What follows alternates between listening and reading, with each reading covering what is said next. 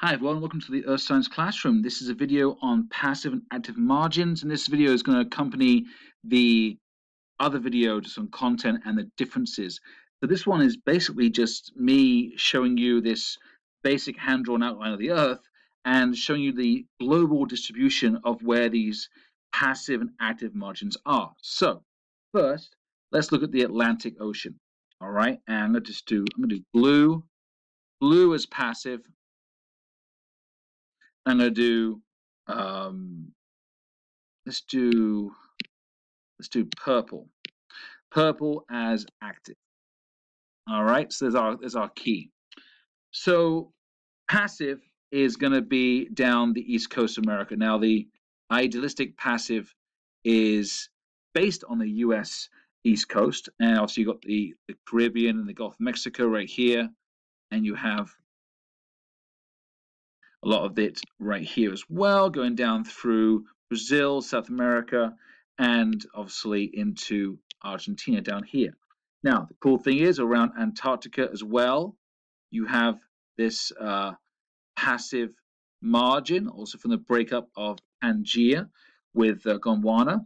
You also have around the uh, around the continent of Africa, you have pretty much passive all passive um, around the edge, going up to the Gulf of Mexico, oh Persian Gulf, sorry, here. There we go. Also around India as well. It's passive around India. Okay. So also we can do the European coastlines around uh, Scandinavia up here, okay, and Ireland and England, and around Iberian Peninsula right here on the uh, west side, also around Greenland as well. It's pretty much all passive. Now there are differences, like I said before in the video, there is volcanic passive and there's non-volcanic passive. And the volcanism is pretty much ancient. So there was volcanoes present during the time of rifting uh, in the stage one of the Wilson cycle, but has obviously stopped after the rifting occurred and the ocean basin became in the, into the mature stage. So the uh, continent of Australasia with country of Australia right here, we have pretty much a entire landmass surrounded by a nice passive margin.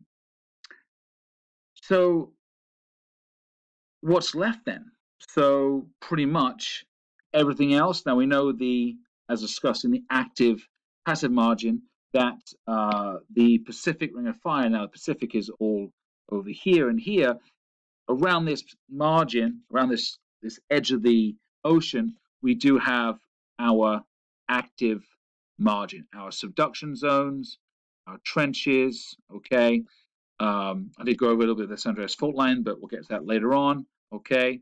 And that the this part of, of Central America down through the west coast of South America with the Andes and the Trench Nazca Plate down there. And we also have obviously Alaska. And we have the Ring of Fire going through here, through Russia, down through Japan, okay, through the Philippines, and then we have some active boundaries around Indonesia and Malaysia up here, and it comes through and goes around like this, comes down through New Zealand, like that. So pretty much you have around the Pacific Ocean, okay, and around some parts of the Mediterranean as well, and around um, you do have this um, pretty much two distinct areas of the world one active, one passive.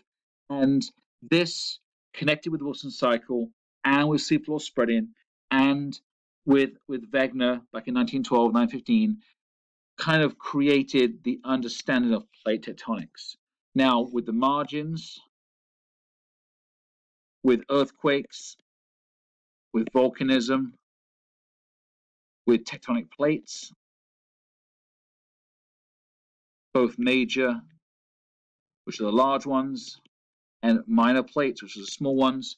And we figured out how this huge jigsaw puzzle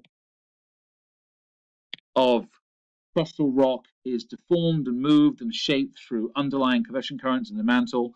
And yeah, there you have it. Just a nice distribution of active versus passive margins. All right, thank you everyone. Just uh, like the video, please subscribe and look forward to seeing you in the next video.